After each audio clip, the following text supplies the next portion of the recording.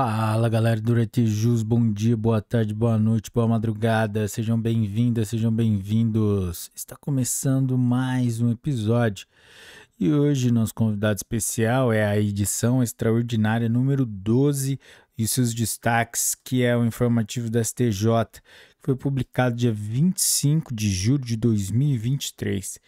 Galera, antes de começarmos, não se esqueça de deixar o seu like, se inscrever no canal, ativar o sininho para receber as notificações, deixar as 5 estrelas para a gente aí no Spotify, que é muito importante para a gente crescer cada vez mais. Vamos lá? Direito administrativo. O registrador poderá se socorrer de mandado de segurança, contrato administrativo que o obrigue a aplicar regramento contra sua convicção jurídica vez que deve zelar pela legalidade dos atos pertinentes à sua área de atuação, bem como por suas prerrogativas funcionais. Agravo de instrumento no recurso de mandado de segurança número 40.368 do Rio Grande do Sul, julgado em 13 de fevereiro de 2023. Direito Civil, Direito Processual Civil. A ausência de comprovação pela parte executada de que o imóvel penhorado é explorado pela família afasta a incidência da proteção da impenhorabilidade. Recurso especial número 1.913.234 de São Paulo, julgado em 8 de fevereiro de 2023.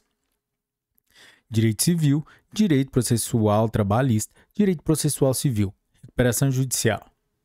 A mera decisão de desconstituição da personalidade jurídica pela Justiça Trabalhista, por si só, não enseja o reconhecimento de usurpação da competência do juízo falimentar, porque não atinge direta e concretamente os bens da massa falida. Agravo de instrumento no conflito de competência número 190.942 de Goiás, julgado em 30 de maio de 2023. Direito Civil. A emissão de duplicata não constitui via adequada para a cobrança da instituição credenciadora de crédito titularizado por comerciante que aceita instrumentos de pagamento, cartões, na comercialização de produtos e serviços e que, em virtude de fraude praticada por terceiro, deixe de recebê-lo. Recurso especial número 2.036.764 de São Paulo, julgado em 7 de fevereiro de 2023 direito civil, direito constitucional. A natureza taxativa ou exemplificativa do rol da ANS é desimportante à análise do dever de cobertura de medicamentos para o tratamento de câncer, em relação aos quais há apenas uma diretriz na resolução normativa. Agravo de instrumento no recurso especial número 2.057.814 de São Paulo, julgado em 29 de maio de 2023. Direito Civil, Direito Consumidor a emissão por terceiro de boleto fraudado configura fato exclusivo de terceiro somente quando evidenciado o nexo causal entre as atividades desempenhadas pela instituição financeira e o dano vivenciado pelo consumidor. Recurso especial número 2.046.026 de do Rio de Janeiro, julgado em 13 de junho de 2023. Direito Civil, Direito Consumidor. A administradora responde objetivamente pela falha na prestação de serviço de intermediação imobiliária consubstanciada na venda fraudulenta de imóveis realizada por corretora a ela vinculada. Agravo de instrumento no recurso especial número 1.893.395 do Rio Grande do Sul, julgado em 6 de junho de 2023. Direito Civil, Direito Previdenciário nas demandas ajuizadas na Justiça Comum até 8 de agosto de 2018, tema repetitivo número 955 do STJ, admite-se a inclusão no benefício de previdência complementar dos reflexos das verbas reconhecidas na Justiça Trabalhista, condicionada à previsão regulamentar, e desde que observados os aportes necessários agravo de instrumento no recurso especial número 1.931.439 do Distrito Federal, julgada em 3 de abril de 2023. Direito Civil, Direito Processual Civil. Após a prescrição cambial, o cheque perde os atributos cambiários, permitindo na ação monitória a discussão do negócio jurídico subjacente à oposição de exceções pessoais a portadores precedentes ou ao próprio emitente, com o ônus da prova da ilicitude do negócio jurídico incumbido ao devedor. Recurso especial número 2 milhões 20 mil e 895 de Minas Gerais, julgado em 28 de fevereiro de 2023. Direito Civil. A data base da apuração de haveres em dissolução parcial de sociedade por tempo indeterminado corresponde ao momento em que o sócio retirante deixa de contribuir para a atividade. Recurso especial número 1.372.139 de São Paulo. Julgado em 28 de fevereiro de 2023. Direito Civil. Realizada a consignação extrajudicial e manifestada a discordância do credor, o devedor deve ajuizar a ação no prazo de 30 dias, sob pena de, reputar-se sem efeito o depósito efetuado, desvinculando-se da extinção da obrigação e impondo-se a rescisão do contrato. Recurso especial número 1.831.057 do Mato Grosso, julgado em 20 de junho de 2023. Direito Civil. O aval não se equipara à fiança no que diz respeito à possibilidade de usufruir do benefício de ordem, uma vez que o avalista é um responsável autônomo e solidário. Agravo de instrumento no recurso especial número 2 milhões 27.935 de do Distrito Federal, julgado em 17 de abril de 2023. Direito Civil, Direito Constitucional. Não é possível aproveitar o tempo anterior de posse de terceiros para a complementação do quinquênio necessário à declaração de prescrição aquisitiva no caso de uso campeão especial urbana, recurso especial número 1.799.625 de São Paulo, julgada em 6 de junho de 2023. Direito Civil. Direito Processual Civil. No caso de ato ilícito continuado, a prescrição não afeta as ocorrências posteriores ao marco temporal prescricional para tutela reparatória e inibitória, abrangendo apenas o período anterior. Agravo de instrumento no agravo de recurso especial número 2.107.167 de São Paulo, julgado em 7 de março de 2023. Direito Civil, Direito Processual Civil. O veículo adaptado para pessoa com mobilidade reduzida pode ter sua impenhorabilidade reconhecida, desde que efetivamente demonstrada sua essencialidade no caso concreto. Agravo de instrumento no recurso especial número 1.945.680 de São Paulo, julgada em 12 de junho de 2023. Direito Civil, Direito Processual Civil. Não é razoável exigir prestação de contas detalhadas sobre investimentos do extinto Fundo 57, 157, quando ausente a especificação do valor, de, do valor investido e do período em questão. Recurso especial número 1.994.044 do Rio Grande do Sul, julgada em 13 de junho de 2023. Direito Civil, Direito Processual Civil. Havendo desconsideração da personalidade jurídica em proveito de sócio morador de imóvel de titularidade da sociedade empresária devedora, poderão ser executados bens pessoais dos sócios até o limite do valor do mercado do bem subtraído da execução, independentemente do preenchimento dos requisitos, requisitos como má-fé e desvio de finalidade previstos no caput do artigo 50 do Código Civil, recurso especial número 1.514.567 de São Paulo, julgada em 14 de março de 2023. Direito Processual Civil.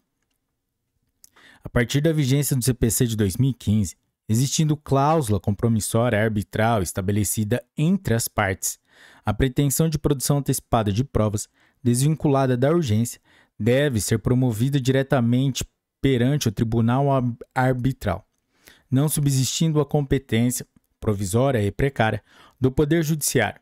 Recurso especial número 2.023.615 de São Paulo, julgado em 14 de março de 2023. Direito Processual Civil. O recorrente deve comprovar o recolhimento do preparo e do porte de remessa e retorno de acordo com os volumes existentes nos autos na interpretação, na interposição do recurso, independentemente da abertura de novos volumes após a data da de protocolização do recurso.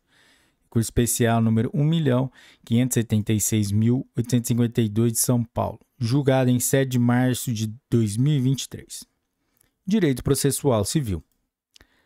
A prévia expedição de ofício às concessionárias de serviços públicos para fins de localização do réu, antes de se autorizar, antes de se autorizar a citação por edital, é facultativa. Recurso especial número 1.971.968 do Distrito Federal, julgado em 20 de junho de 2023. Direito processual civil. Não é cabível a denunciação da lide em demanda que busca a declaração de inexigibilidade de débito, pois não haverá uma condenação que justifique a introdução de uma nova lide dentro daquele processo principal. Recurso especial número 1.763.709 do Rio Grande do Sul, julgado em 25 de abril de 2023. Direito processual civil.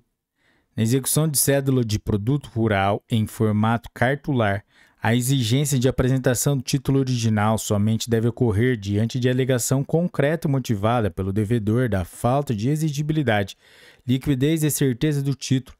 Recurso especial número 2 milhões 13.526 do Mato Grosso, julgada em 28 de fevereiro de 2023. Direito processual civil, direito empresarial. O juiz, ao reconhecer a ilegitimidade de causa de um dos litisconsortes passivo e excluí-lo da lide, pode fixar os honorários advocatícios entre entre 3 a 5% do valor atualizado da causa, nos termos do artigo 338, parágrafo único do Código de Processo Civil. Agravo de instrumento nos embargos de declaração no recurso especial número 1.902.149 do Distrito Federal, julgado em 3 de abril de 2023. Direito processual civil. Os certificados em poder das instituições de ensino, recomprados pelos FIES, pelo FIES e que excederem os débitos previdenciários e tributários destas estão sujeitos à penhora. Recurso especial número 1.760.784 do Distrito Federal, julgado em 6 de junho de 2023. Direito processual civil. O sócio de pessoa jurídica não possui legitimidade ativa para pleitear indenização, em nome próprio, por danos ao patrimônio da empresa, uma vez que eventual procedência no pedido beneficiaria, beneficiaria diretamente a sociedade e contribuiria para a restauração do capital social prejudicado. Recurso especial número 1.985.206 do Rio de Janeiro, julgado em 11 de abril de 2023. Direito processual civil.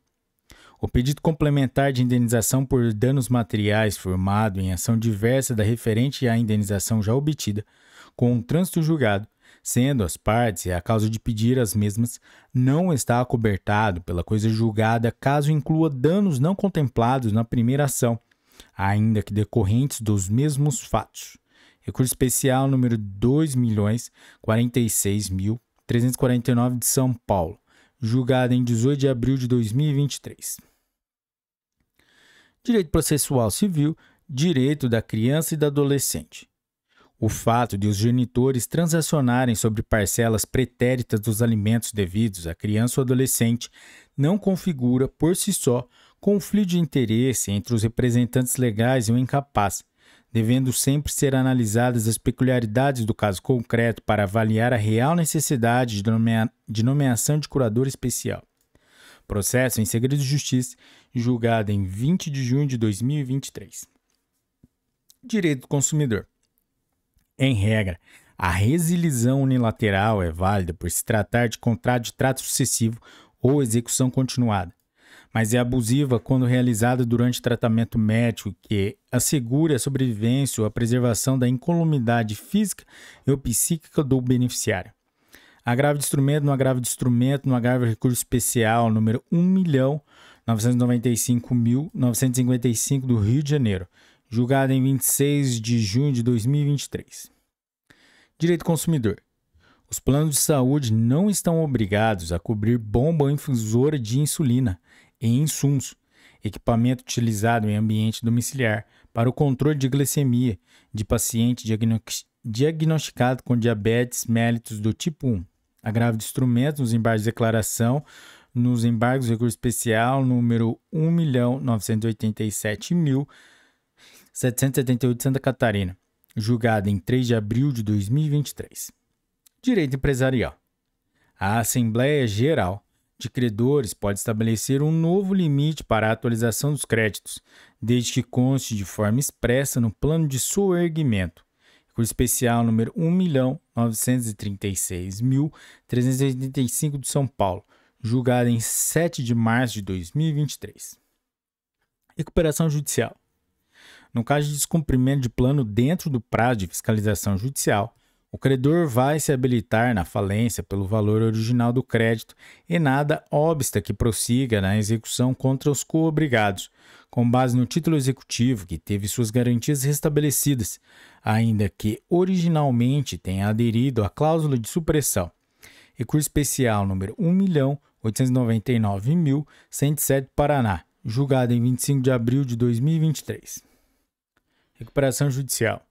A certidão expedida em feito executivo, na forma do artigo 94, inciso 2, parágrafo 4 da Lei nº 11.101 de 2005, enseja a presunção legal da insolvência do devedor e não cabe exigir do credor a prova dessa circunstância fático-jurídica. Agravo de instrumento no agravo de recurso especial número 1.681.533 de Goiás, julgado em 24 de abril de 2023 direito tributário. Compete às turmas integrantes da primeira sessão do STJ julgar recursos que tenham por objeto a indenização do artigo 59, inciso 1 da Lei nº 8.630 de 1993, decorrente do cancelamento da inscrição profissional dos trabalhadores portuários avulsos, desvinculados do sistema pela Lei de Modernização dos Portos, conflito de competência número 179.005 do Distrito Federal, julgado em 15 de fevereiro de 2023. Galera, é isso aí. Chegamos ao final de mais um episódio e hoje foi a edição extraordinária número 12 do informativo do STJ, que foi publicado, foi publicado dia 25 de julho de 2023. Se você curtiu esse episódio, deixe seu like, se inscreva no canal, acesse as nossas outras plataformas como Spotify, YouTube, Amazon Music, Audible, Deezer, Apple Podcasts, Google Podcaster, Podcasts, Anchor by Spotify e deixe suas cinco estrelinhas aí pra gente no Spotify. Galera, é isso aí. É, bons estudos, um forte abraço e tchau!